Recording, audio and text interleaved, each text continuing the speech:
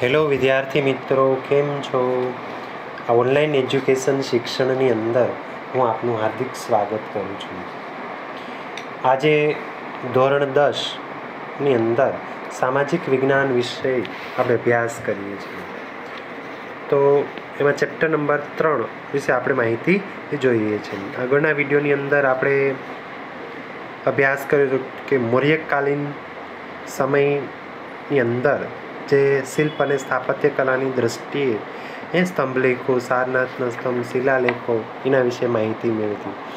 ત્યાર પછી ગુપ્ત સ્થાપત્ય, ગુપ્તકાલીન કલામાં પણ આપણે શિલ્પકલાની અને સ્થાપત્ય કલાની દ્રષ્ટિએ એ જુનાગઢની ગુફાઓ, એ ઘણી બધી ગુફાઓ વિશે આપણે માહિતી મેળવી હતી અને ગુફા સ્થાપત્ય વિશે માહિતી મેળવી. હતી તો હવે આજે અહીં એ પણ દક્ષિણ ભારતની અંદર જે કાંઈ બાંધકામો થયા છે, એ જેમ રથ મંદિર આકારના જે એક જ પથ્થરમાંથી કોતરીને, એ એક જ ખડકમાંથી કોતરીને બનાવેલ જગવિખ્યાત આ મંદિરો છે, એ પલ્લવ વંશના રાજા નરસિંહ વર્મા દ્વારા આ એક આગવી એ શિલ્પકલાની દૃષ્ટિએ એ મહત્ત્વનું મંદિરોનું નિર્માણ થયું હતું. જોઈએ તો એની અંદર આપણે રથ મંદિરો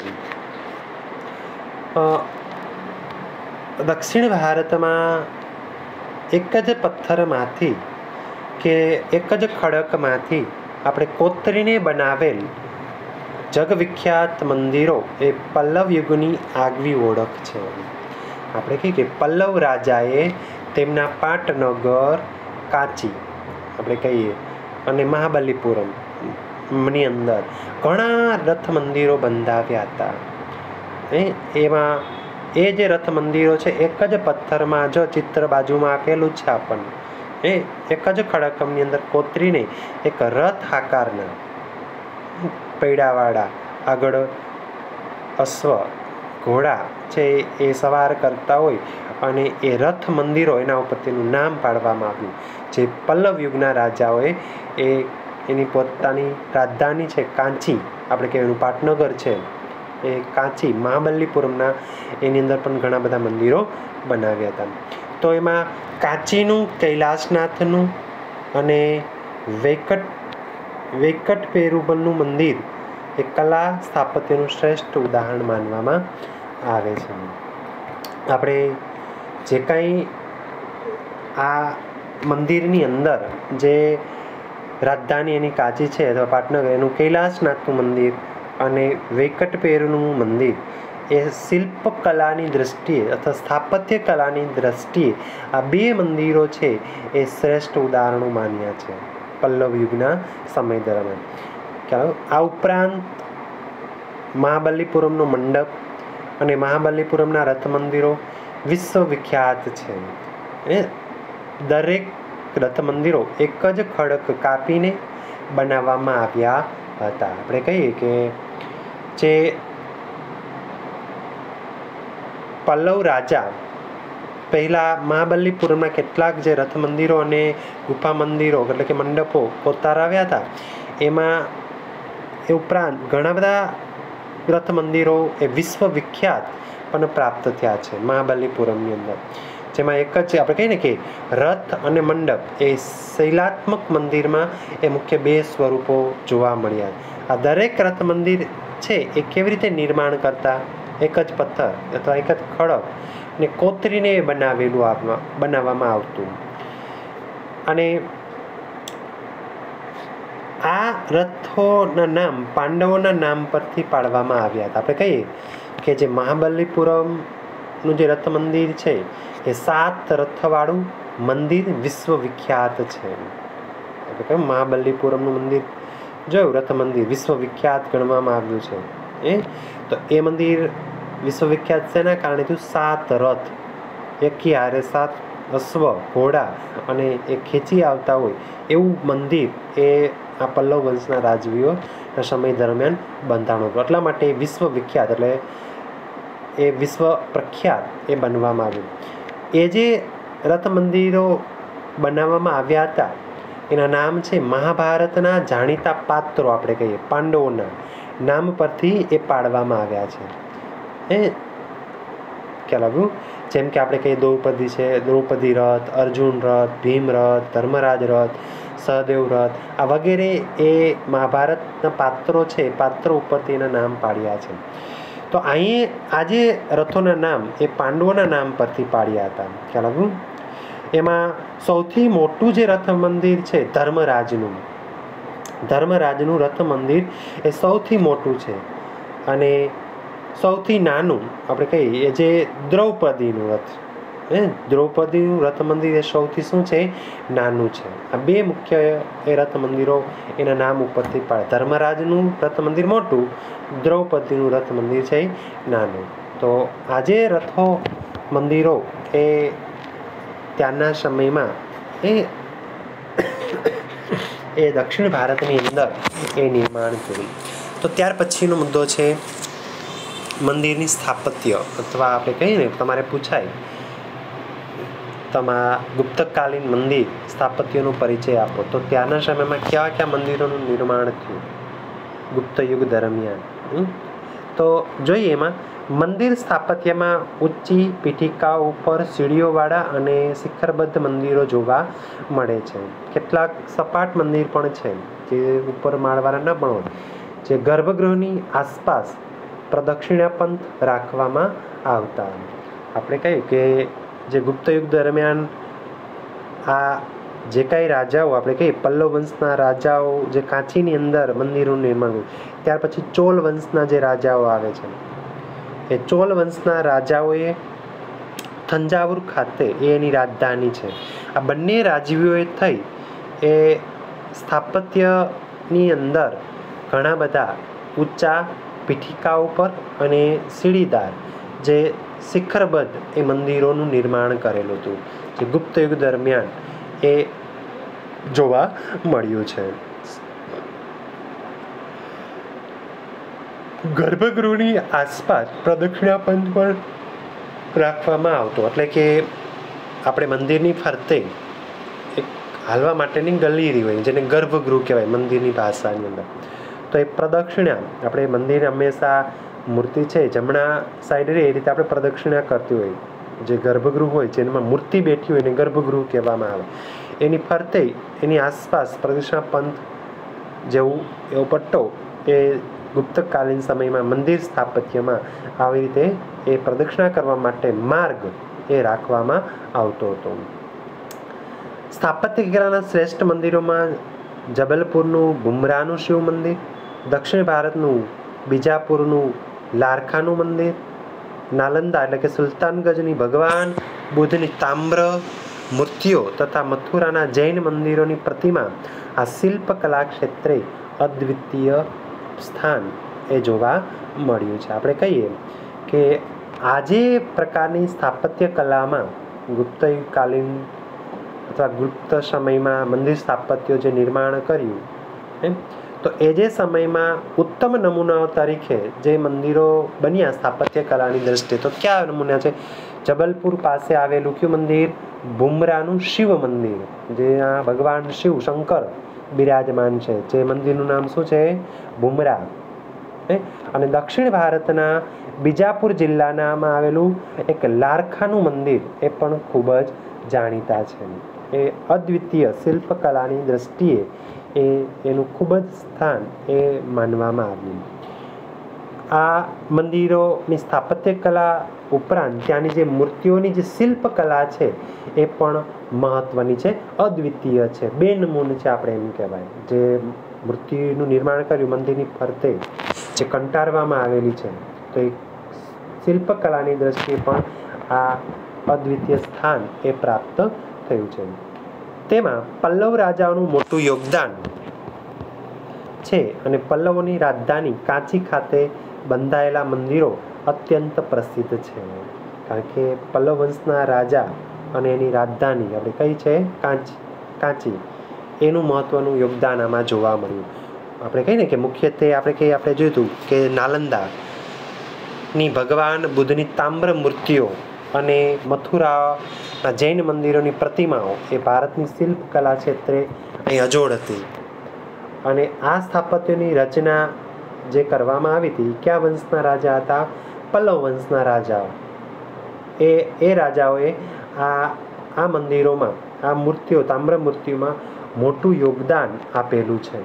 અને આ વંશની રાજધાની કાંચીના મંદિરો જગવિખ્યાત, સુપ્રસિદ્ધ ગણવામાં આવ્યા છે. ત્યાર પછી જે પલ્લવ વંશ પછી જે રાજા આવે છે, જે ચોલ વંશ કહેવાય છે. ચોલ વંશની રાજધાની ક્યાં છે? થંજાવુર. થંજાવુરમાં હતી. અહીં બૃદેશ્વરનું મંદિર ચોલ વંશના રાજરાજ પ્રથમે બંધાવ્યું હતું. અને આ મંદિર લગભગ બસો ફૂટ ઊંચું છે અને પ્રાચીન ભારતનું આ અજોડ મંદિર છે. પલ્લવ વંશ પછી ચોલ વંશ આવે છે અને ચોલ વંશની રાજધાની થંજાવુર ક્યાં આવેલી છે? થંજાવુર છે એની રાજધાની એટલે પાટનગર. તો એ થંજાવુરમાં રાજા રાજરાજ પ્રથમે આ બૃહદેશ્વર મંદિર બંધાવ્યું હતું. એટલે આ મંદિરને બૃહદેશ્વરનું મંદિર અથવા રાજરાજ પ્રથમનું મંદિર તરીકે પણ ઓળખવામાં આવે છે. એટલું ખાસ યાદ રાખજો તે આશરે કેટલું હતું? બસો ફૂટ ઊંચું છે. અને પ્રાચીન ભારતનું તે એક અજોડ મંદિર છે. અદ્વિતીય મંદિર ગણાઈ શકાય. બૃહદેશ્વરનું મંદિર. આપણે કહીએ ને કે જે તમિલનાડુ રાજ્યનું તાંજોર જિલ્લાની અંદર આ બૃહદેશ્વરનું મંદિર આવેલું છે.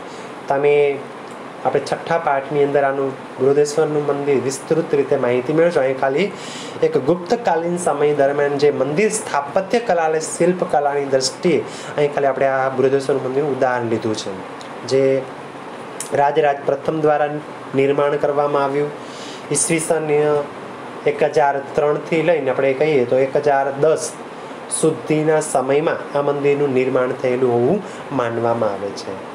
અને આ મંદિર બસો ક્રુરુ એટલે કે પાંસઠ મીટર જેટલી ઊંચાઈ જોવા મળે આપણે કહીએ. અને તેર માળનું આ મંદિરનું ગોપુરમ છે. ગોપુરમ એટલે પ્રવેશ દ્વાર. હે? જે થંજાવુર ખાતે આવેલું છે મંદિર. એ ચોલ વંશના રાજાએ બંધાવેલું. કયું મંદિર? બૃહદેશ્વરનું મંદિર. ખ્યાલ આવ્યું તો અહીંયા મંદિર સ્થાપત્ય કલાની દ્રષ્ટિએ એ બે વંશના રાજાઓ, ચોલ વંશના રાજા અને પલ્લવ વંશના રાજા. બંને દ્વારા એ શિલ્પ સ્થાપત્ય કલાની દ્રષ્ટિએ આગવી ઓળખ છે. ત્યાર પછી આપણે જોઈએ ગૌપુરમ સ્થાપત્ય. એટલે આપણે સ્થાપત્યની દ્રષ્ટિએ જઈએ. ગૌપુરમ એટલે પ્રવેશ દ્વાર. કોઈ પણ મંદિરની અંદર જે દરવાજો પ્રવેશ કરવા માટે જે કંઈ નિર્માણ કરવામાં આવતું, એને ગૌપુરમ કહેવામાં આવે.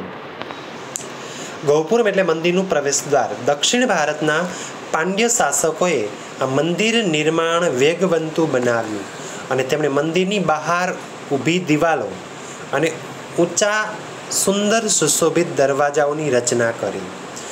આ મંદિરના દરવાજાઓ ગૌપુરમ ને નામે ઓળખાય છે. મંદિરને બદલે ગૌપુરમની કલાત્મક સુંદરતાનો મહિમા આજના સમયની અંદર એ વધી ગયો છે. આપણે કહીને કે ખ્યાલ આવ્યું, ગૌપુરમ એટલે શું? એક પ્રકારનું પ્રવેશ દ્વાર જે મંદિરમાં પ્રવેશ કર્યો. જે કોના સમયમાં પાંડ્ય શાસકો દક્ષિણ ભારતની અંદર જે કાંઈ મંદિર બાંધવામાં આવતું, નિર્માણ કરવામાં આવતા, તે મંદિરની બહારની સાઈડ થોડોક દૂર એ ઊભી દિવાલો અને ઊંચા સુંદર સુશોભિત દરવાજાઓની રચના કરેલી હતી પાંડ્ય શાસકોએ.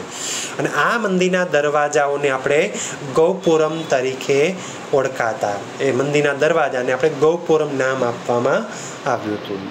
ખ્યાલ આવ્યું? ખાસ યાદ રાખજો વિદ્યાર્થી મિત્રો ગૌપુરમ એટલે શું? મંદિરના બહારના ભાગમાં ઊંચી દિવાલો, ઊંચા માળના ગૌપુરમો બનાવવામાં આવતા પાંડ્ય શાસકોના સમયમાં. જેને આપણે ગૌપુરમ તરીકે ઓળખીએ. મંદિરોને બદલે ગૌપુરમની કલાત્મક સુંદરતાનો મહિમા વધી ગયો હતો.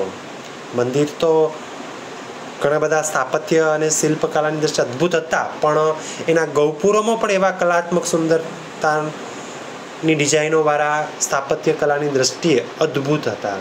આજે કંઈ કાચી અને મદુરાઈના મંદિરોમાં જે ગૌપુરમ દૂરથી જોઈને આજે પણ કલા રસ રસિકાઓ છે એ તબ્ધ બની ગયા છે. એ મંત્રમુગ્ધ બની ગયા છે કે વાહ, આ જે કલાકોત્રણ છે અદ્ભુત છે. જો આપણે જોઈએ અહીં ગૌપુરમનું ચિત્ર આપ્યું છે. દેખાય છે? વિદ્યાર્થી મિત્રો, જે મંદિર કઈ જગ્યાએ છે ને ગૌપુરમ કઈ જગ્યાએ છે? આ ગૌપુરમ છે અને આ આખે આખો મંદિરનો ભાગ છે. અને આ ગૌપુરમ માટેની જગ્યા છે અહીંયા મંદિરની સામે. પણ અહીંયા એને અલગ તરીકે દર્શાવ્યું છે તમે. તો કેને તમે શિખર કહેશો? તો આ ભાગ છે એ શિખરનો છે મંદિરનો. પછી મંદિર શિખરથી નીચે જે ઓરડા ટાઈપ છે એને આપણે વિમાન કહેવાય. શું કહેવાય? વિમાન. અને જે મૂર્તિ બિરાજમાન છે એને ગર્ભગૃહ કહેવાય મંદિરની અંદર. અને મંદિરનો જે આગળનો ભાગ છે, જેને મંડપ કહેવાય આપણે કહીએ ને, લગ્ન પ્રસંગમાં કેમ મંડપ નાખી બહાર તો મંદિરના આગળના ભાગ છે, એ તો એને મંડપ તરીકે કહેવાય અને મંડપથી આગળ જે ગેટ, જેને ગૌપુરમ માટેની જગ્યા જ્યાં અહીં આપેલી છે જે ગૌપુરમ આપેલું છે, કેટલા માળનું છે? જો તેર માળનું એ ગૌપુરમ બનાવેલું છે કહેવાયું તો એ પણ વિદ્યાર્થી મિત્રો, ખાસ દક્ષિણ ભારતની આ મંદિરનું રેખાચિત્ર હતું. જો અહીં આ બધી વિશે તમે સમજી શકો. તો પેલું છે જો અહીં ગર્ભગૃહ. ગર્ભગૃહ એટલે શું? અહીં આપેલું છે ને જારીઓનો શબ્દ? એ તમારે પૂછાય કે ગર્ભગૃહ મુખ્યત્વે એક નાનો અને અંધકારયુક્ત ઓરડો હોય છે. મંદિરની અંદર નાનો ઓરડો હોય ને, જે મૂર્તિ બિરાજમાન હોય, જેમાં મંદિરની પ્રતિમાને સ્થાપિત કરવામાં આવે છે. સામાન્યતઃ ચાર ખૂણા ધરાવતો આ ભાગ માટે મોટે ભાગે એક લંબચોરસ જ હોય છે. ગુજરાતમાં તેને ગભારો કહેવામાં આવે છે અને એનું નામ છે ગર્ભગૃહ, જ્યાં મૂર્તિ બિરાજમાન હોય. ભગવાન શંકરની વચ્ચે જો ચાર ઓરડો તરીકે વચ્ચે બિરાજમાન છે, જેને ગર્ભગૃહ કહેવાય મૂર્તિ. ગૌપુરમ ગૌપુરમ એટલે શું? દક્ષિણ ભારતમાં આ પ્રવેશ દ્વાર કહેવાય છે, ગૌપુરમને. આપણે અહીં પ્રવેશ દ્વાર કે ગૌપુરમ સ્થાપત્ય ઉપરથી અર્ધગોળાકાર હોય છે અને ગોપુરમને મજબૂત બનાવવા માટે તેના નીચેના બે માળને ઉધ્વાકાર બનાવવામાં ઊંધો આકારનું નિર્માણ કરેલું છે. મંડપ જો આ મંદિરમાં દેખ્યું છે ને, મંડપ એટલે શું? એ પણ આપણે જોઈ લઈએ. આ સ્થાપત્ય સ્તંભો ઉપર રચાયેલ મોટો હોલ અથવા મંદિરના મુખ્ય દ્વારની સામે રચવામાં આવેલ એક વિશાળ વિસ્તાર જે મૂર્તિ બિરાજમાન છે એના આગળનો ભાગ ને આપણે મંડપ કહેવાય. આપણે ફળિયું કહીએ. કહીને આપણે? આપણા ભાષામાં. એને મંડપ તરીકે ઓળખાય. ત્યાર પછી શિખર. શિખર. એટલે તો તમે સૌ પરિચિત હશો શિખર એટલે શું? જો અહીંયા આવ્યું દેખું. તો શિખર એટલે શું? કે વિમાન મંદિરનો જ એક ભાગ છે જે વર્ગ, વર્ગાકાર ગોળ ઢોળાવવાળું.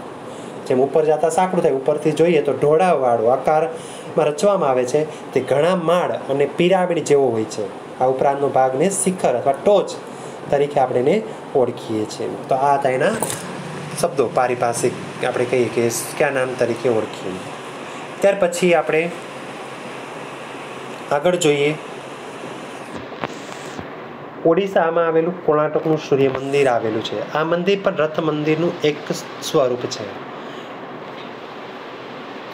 કોણાટકનું સૂર્ય મંદિર. ભગવાન સૂર્યના કિરણો પ્રથમ એ એના ગર્ભગૃહની અંદર એ પડે. તો એ ઓડિશા રાજ્યમાં પુરી જિલ્લાની અંદર આ મંદિર આવેલું છે. ખાસ વિદ્યાર્થીઓ અહીંયા ખાલી એક લીટી જ આપેલી છે. નેક્સ્ટ છઠ્ઠો પાઠ આવશે તમારો. એની અંદર આખી ટૂંક નોંધ પૂછાય છે. કર્ણાટકના સૂર્ય મંદિર વિશે માહિતી તો એ તમારે વ્યવસ્થિત રીતે, કારણ કે આ તેરમી સદીમાં ગંગ વંશના રાજા નરસિંહ વર્મા એ પ્રથમ આ મંદિરનું નિર્માણ કર્યું હતું. કર્ણાટકનું મંદિર. જોઈએ કે તાંજોરમાં બૃહદેશ્વર મંદિરને તેર માળનું ગોપુરમ છે. જો, ગોપુરમ એટલે આપણે ભણી ગયા આગળ. ભણી ગયા ને? શું? પ્રવેશ દ્વાર. તો બૃહદેશ્વરમાં કેટલા માળનું ગોપુરમ છે તેર માળનું. આ સમયની ધાતુ તથા પથ્થરની મૂર્તિઓની આગવી વિશિષ્ટતા છે. નટરાજની કાશ્ય પ્રતિમા તત્કાલીન મૂર્તિકલાનું ઉત્તમ ઉદાહરણ જોવા મળે છે. ચોલ મંદિરો કલા સ્થાપત્ય ક્ષેત્રે એ આગવી પ્રતિભા અને ભવ્યતા ધરાવે છે. આજે ચિત્ર છે કોણાર્કનું સૂર્ય મંદિર છે, પણ સ્થાપત્ય કલાની દ્રષ્ટિએ એ આગળ છે. કારણ કે રથ આકારનું મંદિર સૂર્યનારાયણ ભગવાનના સમર્પિત આ કર્ણાટકની અંદર એ સૂર્ય મંદિર એ સ્થાપત્ય કલાની દ્રષ્ટિએ આગવી છે. સાત અશ્વો, બાર પેડા અને આઠ હારા એ પ્રકારના આ મંદિરનું નિર્માણ એ કરેલું છે. કોને? ગંગવંશના રાજા નરસિંહ વર્મા પ્રથમ દ્વારા આ નિર્માણ થયેલું હતું. એ અને કાળા પેગોડા તરીકે ઓળખવામાં આવે છે. કર્ણાટકના સૂર્ય મંદિરને એ તમારે વિસ્તૃત છઠ્ઠા પાઠમાં આપણે આવશે. આ તો તમને માહિતી આપું છું. અહીં તો ખાલી એક સ્થાપત્ય કલાની દ્રષ્ટિએ જે ગુપ્તકાલીન સમયમાં કોણાટકના મંદિરનું પણ ગણના કરવામાં આવી છે. જે ભવ્ય ચોલ વંશના સમયની અંદર કલા સ્થાપત્ય ક્ષેત્રે એ આગવી પ્રતિભા અને ભવ્યતા ધરાવતું આ મંદિર છે. ત્યાર પછી મદુરાઈના ભારતભરનું ભવ્ય મીનાક્ષી મંદિર આવેલું છે. તે વિશાળ જગ્યાએ પથરાયેલ છે. મંદિરના મુખ્ય ચાર ગૌપુરમ છે. મીનાક્ષી મંદિરમાં ચાર દરવાજા છે. પ્રવેશ દ્વાર આપવામાં આવેલા છે. એ એ સ્થાપત્ય કલાની દ્રષ્ટિએ પણ એ મંદિર વિશિષ્ટતા ધરાવતું અને શ્રેષ્ઠ મંદિર ગણવામાં આવે છે. કયું મંદિર? મીનાક્ષીનું મંદિર, મદુરાઈમાં આવેલું. ભારતભરનું ભવ્ય મંદિર છે. એ એ શિલ્પ સ્થાપત્યની દ્રષ્ટિએ પણ આગવી વિશિષ્ટતા ધરાવે છે. ત્યાર પછી ખજુરાઓ મધ્ય મધ્યયુગમાં સમયમાં બુલેન્દખંડના ચલ, ચંદેલ રાજપૂતોની રાજધાનીનું આ નગર હતું. જે ચંદેલ રાજાએ ખજુરાહોનું મંદિર, આ મંદિરનું નિર્માણ કરાવ્યું હતું. આ પણ મંદિર શિખરબદ્ધ તેમજ ભવ્યતાથી ભવ્ય એવા મંદિરની શૈલી બીજા મંદિરો કરતાં તદ્દન જ જુદી જોવા મળી હતી. આ પણ શિલ્પકલાની દ્રષ્ટિએ એ પણ આગવી સ્થાન. આ પણ તમારા છઠ્ઠા પાઠમાં આવશે, ખજુરાનું મંદિર. પછી આપણે કહીને એ શિલ્પકલાની દશા અહીં ઉદાહરણ લેવામાં આવ્યું હતું. તો જે કાંઈ એના ગોપુરમો છે, સ્થાપત્ય કલાની દ્રષ્ટિએ એ આગવી વિશેષતા, એની શૈલી, એ મંદિરો, એ અલગ જ તરી આપતા જોવા મળ્યા છે. ત્યાર પછી જોઈએ આપણે જૈન મંદિરો. આપણે કહીએ દેરાસરો. પાલિતાણામાં આવેલા દેરાસરો. જે આપણી આ ચિત્ર છે એ પાલિતાણાનું જૈન મંદિરનું દેરાસરો જોવા મળે. એ ઉપરાંત આપણે જોઈએ તો આબુ ઉપર, રાજસ્થાનના આબુ પર્વત પણ આવેલા છે જૈન દેરાસરો. તો જોઈએ ક્યાં ક્યાં સ્થળોએ જૈન મંદિરોનું નિર્માણ કરવામાં આવ્યું છે શિલ્પ અને સ્થાપત્ય કલાની દ્રષ્ટિએ પણ એ ખૂબ જ આગવી વિશેષતા છે. આ જે મંદિરો છે, હંમેશા આપણી ભારતીય સંસ્કૃતિને આપેલી ચિરસ્મરણીય અને અતુલ્ય ભેટ ગણી શકાય. કારણ કે કલા જે વિવેચકો હતા, આપણે જે દેલવાડના જૈન મંદિરોને બાંધકામ કર્યું, એ સંગે મરણના આરસમાં કંટાળેલા આ મંદિરોનું નિર્માણ હતું. મોસ્ટ ઓફ આરસ પથ્થરથી જ બનાવેલા હતા. એ એટલે એને કંટાળેલા કાવ્યો તરીકે પણ આને ઓળખવામાં આવે છે. આરસ. એટલે એક પથ્થર છે. એ એમાંથી જ કંટાળેલા છે. તો જોઈએ ભારતમાં વિવિધ સ્થળોએ જૈન મંદિરો આવેલા છે. રાજગૃહમાં વૈભાર વિપુલાચલ, રત્નગીરી, ઉદયગીરી અને શ્રમણગીરી નામના પાંચ જૈન મંદિરો છે. કેટલા? જો, રાજગૃહમાં કેટલા મંદિરો આવેલા છે? પાંચ જૈન મંદિરો. વેભાર વિપુલચાલ, રત્નગીરી, ઉદયગીરી અને શ્રમણગીરી. આ મુખ્ય નામના પાંચ એ જૈન મંદિરો જોવા મળે સમેત શિખરજી, એટલે બિહાર સિદ્ધ ક્ષેત્રે જૈન તીર્થધામ આવેલું છે. તેનું મધુવન કહેવામાં આવે છે. જે આ જૈન મંદિર આવેલું છે બિહારની અંદર, સમેત શિખરજી એનું નામ આપ્યું છે બિહાર રાજ્યમાં. તેનું ઉપનામ શું આપ્યું છે? મધુવન તરીકે પણ એને ઓળખે છે. અહીં આદિનાથ ભગવાન અને બીજા ઘણા બધા વિસક જેવા તીર્થકરો એ નિર્માણ પામ્યા હતા. એ જે ભગવાન બુદ્ધ, આપણે કહીએ ને ભગવાન આદિનાથ, બૌદ્ધ ધર્મની મૂર્તિઓ એ જૈન દેરાસરો આપણે કહીએ, એ મુખ્ય અહીંયા જોવા. અને એ નિર્માણ પામેલા છે અહીં અભિનંદ નાથજી અને પાસ્યનાથજીના મંદિરો પણ જોવા મળે છે. ભગવાન મહાવીર પધારેલા અને અહીં કેટલાક મુનિઓ પણ મોક્ષ પામેલા જોવા મળે છે. જે પાલિતાણાની અંદર રાજસ્થાનના આબુ પર્વત પર આવેલા જે આ મંદિરો છે, એ મંદિરોમાં મુખ્ય એ મહત્વનું સ્થાન જોવા એટલે ટૂંકમાં આપણે કહીએ કે કેટલા બધા નિર્માણ પામેલા, મોક્ષ પામ્યા હતા એની ઉપર આ મંદિરોનું નિર્માણ કરવામાં આવતું હતું. એ ઉપરાંત જોઈએ તો રાજસ્થાનના આબુ, માઉન્ટ આબુના, દેલવાડના અને રાણકપુરના જૈન દેરાસરો, એ બાંધકામ, કોતરકામ અને કલા કારીગરી અને શિલ્પકલા, આટલી કલાઓની દ્રષ્ટિએ એ અદ્ભુત બેનમૂન માનવામાં આવ્યું હતું. કઈ જગ્યાએ? રાજસ્થાનના માઉન્ટ આબુ પર્વત પર આવેલા જૈન દેરાસરો આપણે કહીએ. ત્યાર પછી રાણકપુરમાં જૈન દેરાસરોનું બાંધકામ એ પણ સારું એવું છે જોવા મળ્યું છે.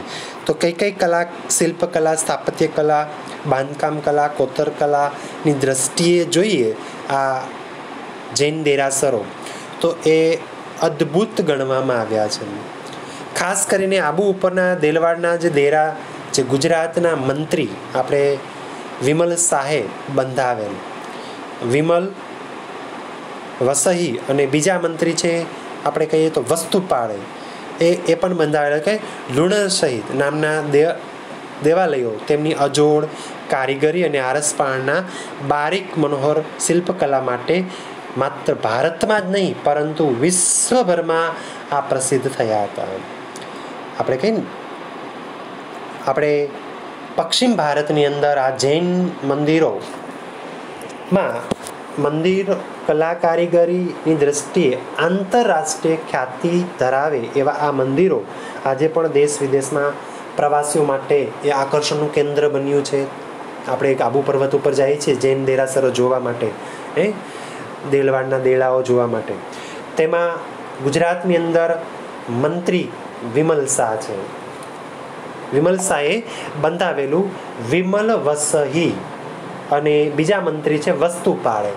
આ વસ્તુપાળે બંધાવેલું લુણ વસહી આ મંદિરનો સમાવેશ એ જોવા મળે છે. આ ગુજરાતમાં બંને મંત્રીઓએ બંધાવેલું જોવા મળ્યું હતું. ખ્યાલ આવ્યું? ત્યાર પછી પ્રસિદ્ધ થયા. આ દે દેલવાડનો જૈન ધર્મની ભારતીય સંસ્કૃતિને અર્પણ થયેલી અજોડ અને યાદગાર ભેટ છે. જૈન મંદિરો, શિલ્પ અને સ્થાપત્ય કલાની દ્રષ્ટિએ જગવિખ્યાત જોવા મળ્યા છે. આપણે કહીએ, ગુજરાતમાં બે મંત્રીઓ દ્વારા જે મંદિરો બંધાવ્યા, દેલવાડના જે દેરાસરો જે બંધાવ્યા, જૈન મંદિરો એ મંદિરોમાં વિમલ વસઈ અને લુણ વસઈ.